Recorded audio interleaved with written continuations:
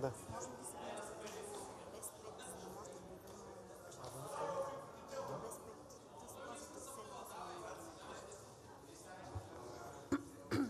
Уважаема госпожо Председател, дами и господа народни представители, уважаеми сънародници!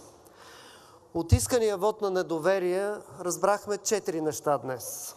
Първо, най-накрая, година и девет месеца след началото на войната, ВЪЗРАЖДАНЕ, БСП и ИТН признаха в мотивите си към вота, че Руската федерация води агресивна война срещу Украйна. Признаха и че водената от Русия война създава заплаха и за България. С други думи, ако Русия спре войната в Украйна, ще изчезнат и опасностите за България. Затова националната сигурност на България изисква всички партии, без изключение, включително и опозиционните, да призоват Русия да спре войната и да напусне завоюваните територии в съответствие с международното право. Това е интересът на България, това съответства на националната сигурност на България. Второ, разбрахме също, че закупуването на съвременна военна техника, каквато българската армия не е получавала от над 30 години, е повод за ожесточени критики от опозицията.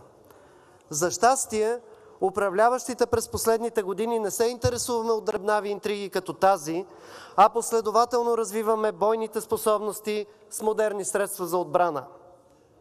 Трето, разбрахме, че народните представители от ВЪЗРАЖДАНЕ и техните лидери не се интересуват от съдбата на българите в окупираните от Руската федерация територии в Украйна.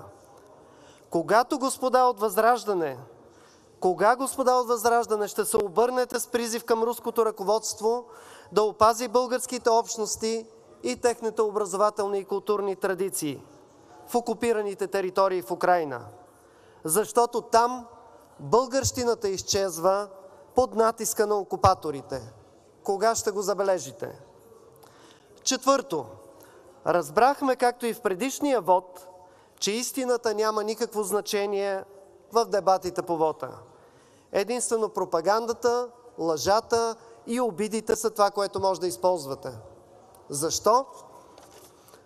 Защото опозицията отново няма истински аргументи и затова трябва да използва измислици и лъжи. В заключение, именно този подход на опозицията е най-вреден за националната сигурност, защото по този въпрос трябва да търсим национален консенсус, който трябва да е центриран първо върху модернизирането на българските въоръжени сили и второ върху нашето пълноценно включване в европейските и евроатлантическите структури.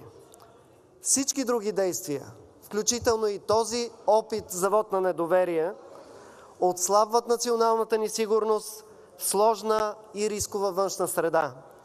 Затова призовавам всички народни представители, които имат съвест и се чувстват патриоти, да отхвърлят вота, защото това ще бъде от полза за България. Благодаря Ви, господин Денков.